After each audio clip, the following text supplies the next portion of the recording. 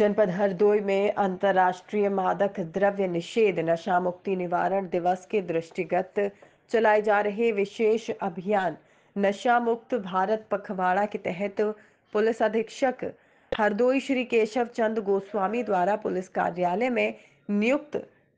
समस्त अधिकारी कर्मचारी गणों को शपथ।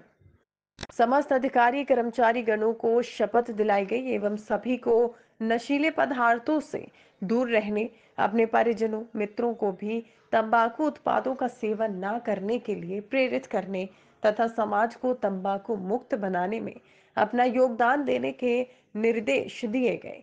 इस दौरान अपर पुलिस अधीक्षक, पश्चिमी, अपर पुलिस अधीक्षक, पूर्वी क्षेत्राधिकारी, नगर व क्षेत्राधिकारी बघोली सहित पुलिस कार्यालय में नियुक्त समस्त पुलिसकर्मी मौजूद रहे।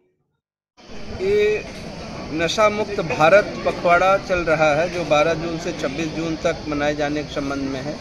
इस संबंध में आज आ, हमारे द्वारा पुलिस ऑफ़िस में उपस्थित सारे पुलिस अधिकारियों कर्मचारियों को तंबाकू मुक्त करने के लिए ऑफ़िस को ये शपथ दिलाई गई।